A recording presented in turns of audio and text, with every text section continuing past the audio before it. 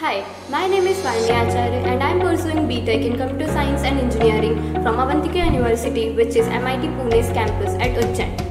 I am glad to inform you all that I am placed in Motifworks Private Limited, Pune and would like to thank all my mentors who have helped me in this journey. MIT Ujjain's offer plethora opportunities for learning and placements. Hands-on practice we are project-based learning and made my BTech work and transformed me into an industry-ready professional. At MIT Ujjain, we are taught best of the latest curriculums and specialization. And my specialization was full stack developer. The ultra modern machine and computer labs, wonderful accommodation facilities at fully equipped hostel and mess made our campus stay really comfortable.